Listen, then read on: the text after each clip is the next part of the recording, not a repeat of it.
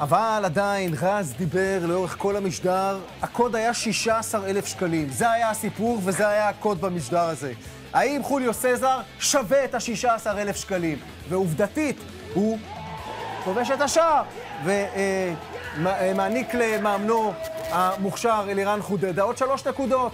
אז הברזילאי, איפה שהוא לא משחק, הוא מניה בטוחה, ואני מבין שרז רוצה לסדר אותו ולהעביר אותו לאיזה קבוצה נוספת.